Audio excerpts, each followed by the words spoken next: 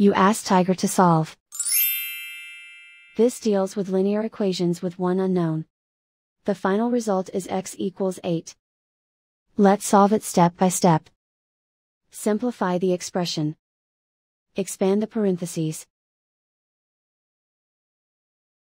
Simplify the arithmetic. Group like terms.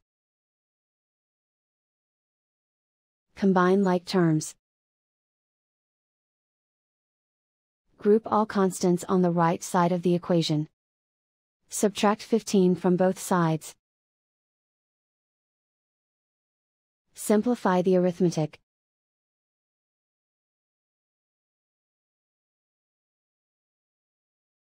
Isolate the x. Divide both sides by 9. Simplify the fraction.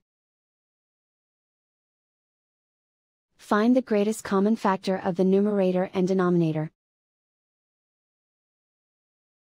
Factor out and cancel the greatest common factor. And so the final result is x equals 8.